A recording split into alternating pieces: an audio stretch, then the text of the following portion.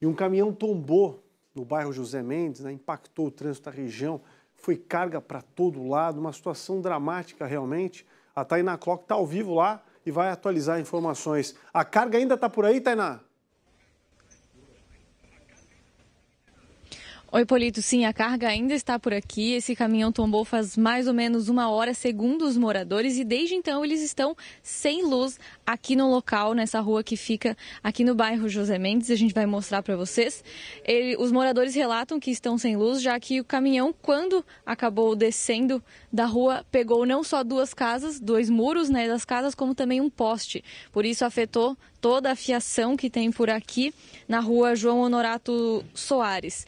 É, toda essa carga também com vidro que está bem perigoso. Há pouco a guarda municipal chegou aqui para fazer, para manter a segurança do local. Eles não quiseram falar conosco.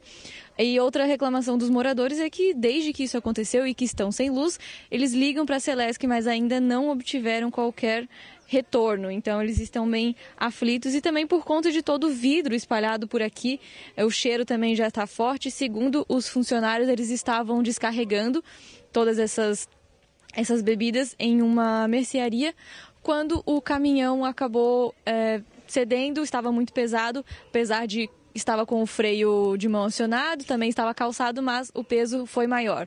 Segundo os funcionários também, dois deles estavam em cima do caminhão retirando esses, esses produtos e conseguiram pular do veículo e felizmente ninguém se machucou, o motorista também não estava dentro do, do caminhão.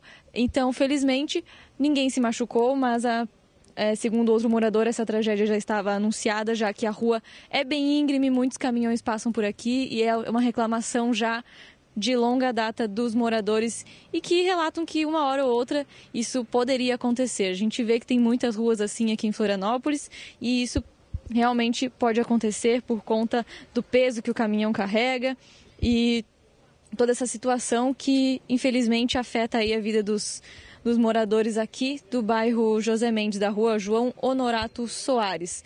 Agora eles estão esperando que em breve a a luz possa retornar aqui.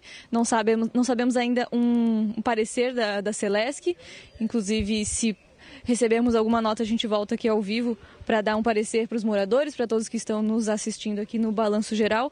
E por enquanto essas são as informações que a gente tem agora, Polito. Felizmente ninguém se machucou, mas o estrago foi grande tanto nos muros das duas casas que foram atingidas, quanto nesse poste que a gente acredita também que vai demorar algum tempo para ser tudo restabelecido aqui para os moradores. Obrigado, Tainá Cloca, atualizando informações ao vivo para a gente aqui no Balanço Geral. Que confusão, né? Vale reflexão para as empresas que transportam cargas, todos os tipos de carga. Gente, temos alguns lugares bastante peculiares que exigem né, a movimentação e a logística de veículos menores. A gente quer colocar um caminhão muito grande num ponto onde não é possível manobrá-lo, né?